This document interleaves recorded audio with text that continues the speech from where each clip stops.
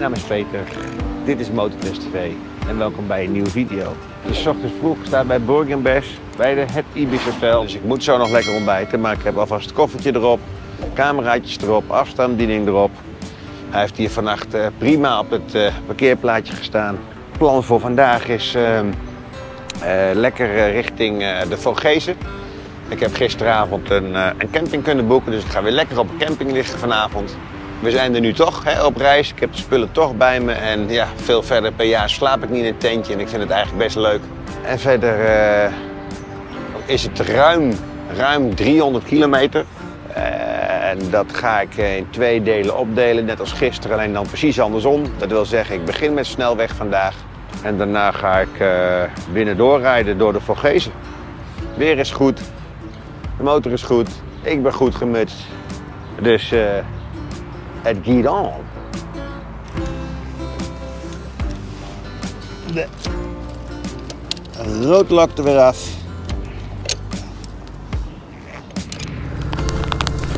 Eh, 18 graden in het schaduw. Het zal zo wel wat warmer worden, maar ik vind het een heerlijk temperatuurtje om mee te beginnen. We gaan minimaal even 150 kilometer. Eerst snelweg pakken.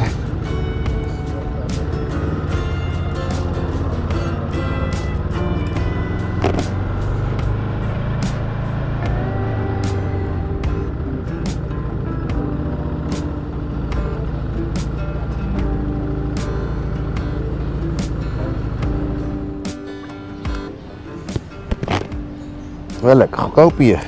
1,90 voor 98.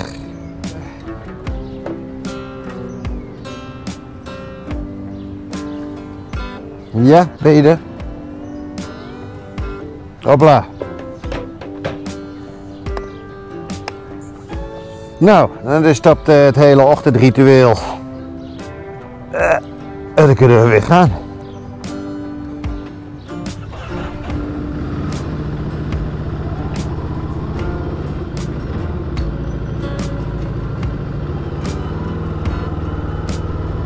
Revoir, madame, monsieur. Tot de volgende keer. A few moments later.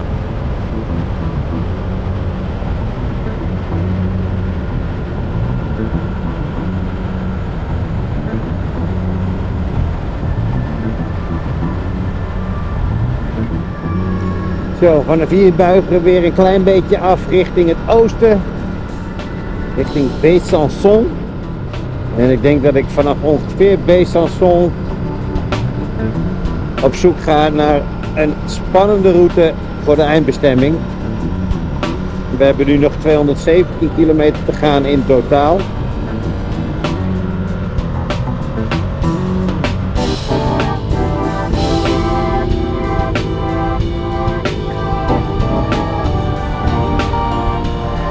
Dan we eens even op zoek naar een bak koffie.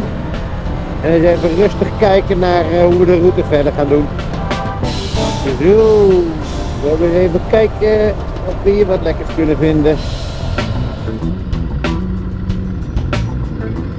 Hopla, hier zo. Hopla. Ah. Tijd voor koffie. Ja, ja, ja. Zo, tafeltje in de schaduw. Een bakje koffie, koekje erbij. Extra flesje water voor onderweg. En nou eens even gaan bedenken ah, hoe wij verder gaan met onze reis. Zo, notabene gewoon uh, Starbucks eh, machine hier. Wat zegt u nou? Nou gewoon huidige route. Plannen spannende route. Nou, kijk eens aan. 3,5 uur reistijd, 170 kilometer. En vanaf hier begint ook de Vogezen. En als ik het zo zie, dat vind ik altijd belangrijk. Niet helemaal plat gegooid met dorpjes onderweg. Dus we hebben een route. Mooi.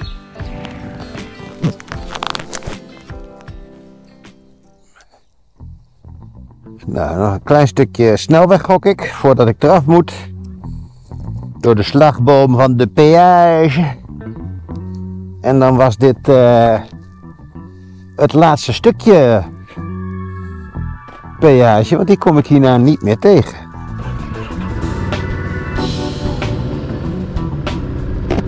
Mooi uit de weg. Zo, mijn plezier is weer lekker schoon. De spiegeltje is weer even schoongemaakt. Alles is weer helder en crystal clear.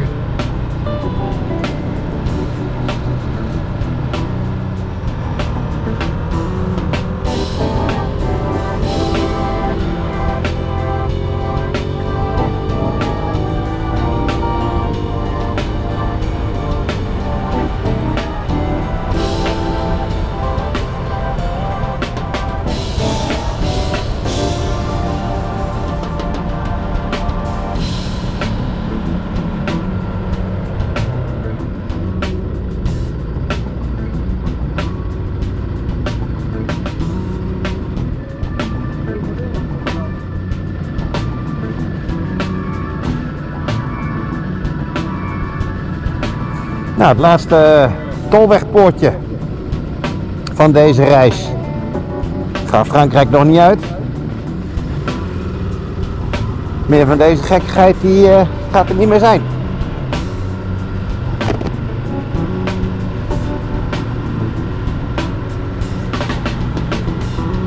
Halen we weer van de sportmode af op de touring. Weer het randje weer naar beneden. Weer lekker genieten van het mooie landschap. Het zijn natuurlijk geen, uh, geen bergen meer. Maar het is, het is zeker niet vlak. En zeker zometeen in de Vogezen, over een kilometer of 70, krijgen we nog wat spectaculairdere dingetjes voor de kiezer. En zo uh, vorderen we langzaam onze weg richting het noorden.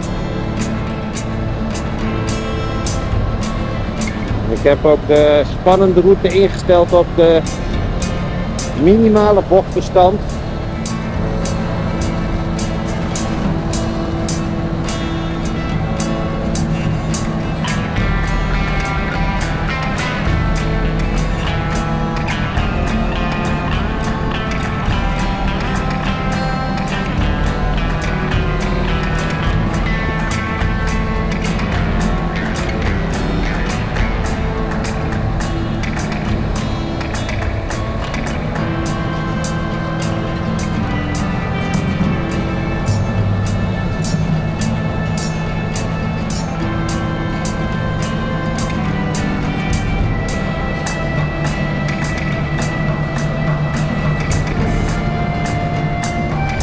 Ik ben een beetje uitgeluld. Het is gewoon allemaal mooi.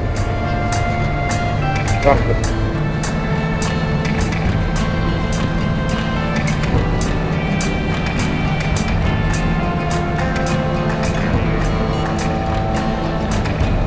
Ja, en dan rij je ineens het terrasje voorbij. Dan is het 1 uur middag in een mooi dorpje. Ja. Dan uh, gaan we even lekker iets halen. Restaurant Du Centre. Nou, komt dat even goed uit. Uh, in ieder geval even lekker zin in iets kouds te drinken. Nou, dan zit ik hier uh, op dat terrasje. En uh, hebben ze een soort van buffet wat je zelf kon pakken. typisch allemaal lekkere Franse dingetjes. En natuurlijk een beetje brood erbij, colaatje. Ik ben goed voorzien. Hier in een heel klein Frans dorpje. Dan ziet een gastje dat je GoPro's op je motor hebt zitten. En dan uh, ontdekken ze dat je een YouTube kanaal hebt en dan moeten ze een beetje op de foto. er gebeurt hier echt niks in het dorp. Ze met motortest even op de foto willen. oh, ik moet er wel op lachen. Hoppa.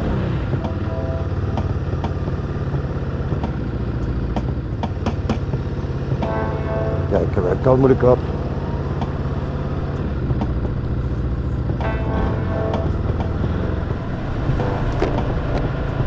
Zo, nou dat was even uh, lekker uh, typisch Franse lunch. Een broodje met uh, paté en van alles en nog wat. Aan een buffetje.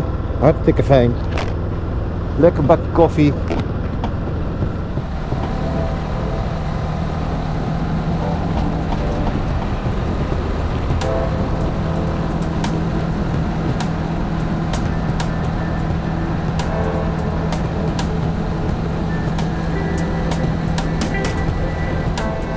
Daar zijn de Vogezen.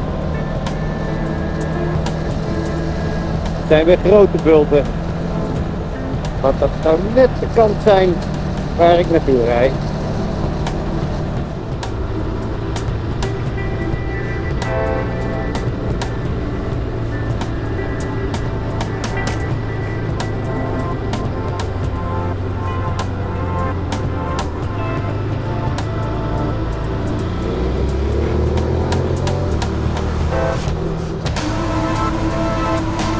Welkom in de Vogezen. En aangezien ik nu eerder aandreig te komen dan dat de receptie open is, ga ik er toch nog even kijken of ik er nog iets spannender route van kan maken dan wat het nu is. En nog even stiekem een paar kilometers aan kan plakken. Door bijvoorbeeld gewoon daar rechtsaf te gaan. Dus ik heb nu een andere route gevonden die uh, zorgt ervoor dat ik 10 minuten later daar ben, nog steeds te vroeg. Maar in ieder geval een uh, lekkere lust eromheen. En als ik zo meteen nog ergens wat moois zie, dan doe ik gewoon hetzelfde weer.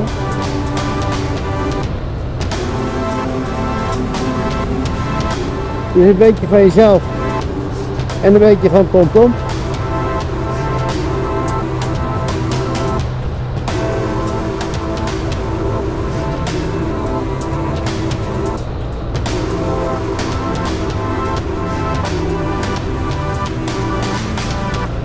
Nou, toen zag ik een weggetje omhoog gaan en die ben ik maar gewoon ingegaan.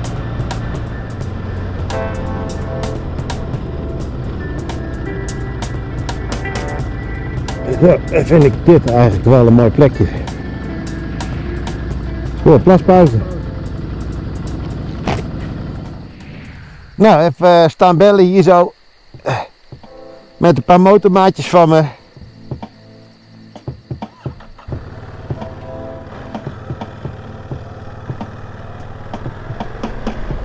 Tijd om door te gaan op de naamloze weg. De, de weg zonder naam. En uh, komen nu in ieder geval ruimschoots aan. Na de tijd dat de receptie op de camping open zou gaan. Dus we gaan nou lekker uh, niet meer zelf iets bedenken, maar lekker richting de camping. Dit zijn wel leuke paadjes hoor. En dan zit hier gewoon een dorpje. Hallo dorpje.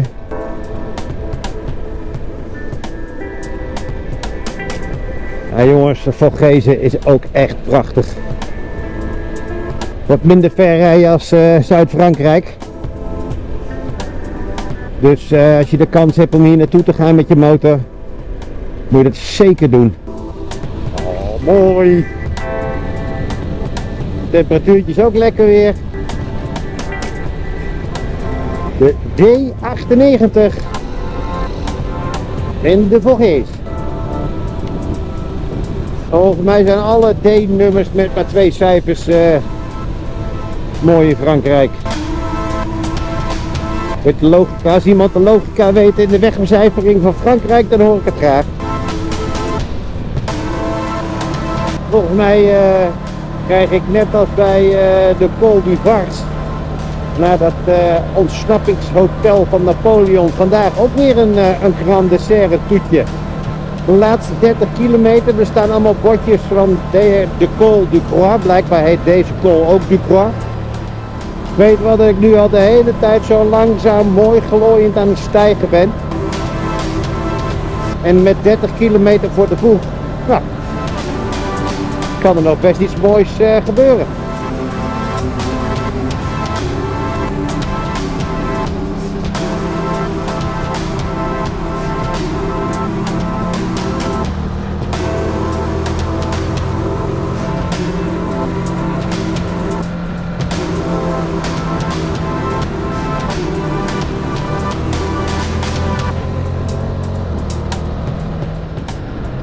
Nou, ik ben alweer aan het dalen. Nou,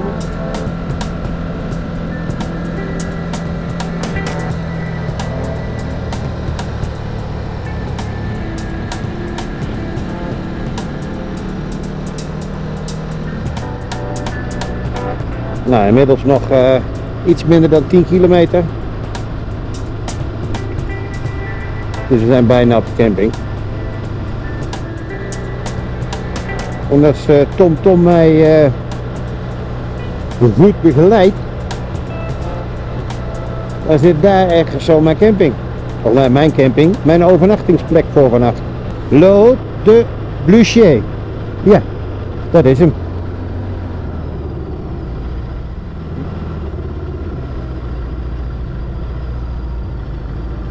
Receptie 100 meter.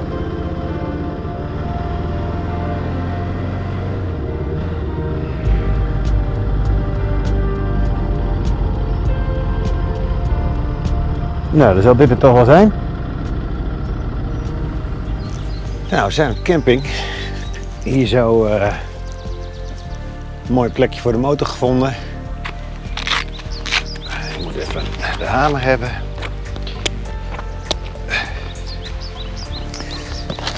En dan gaan we weer.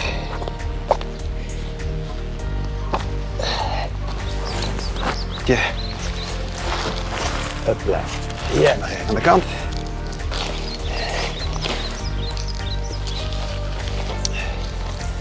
Het uh, ziet, ziet er redelijk vlak uit. Wat is nu de vraag?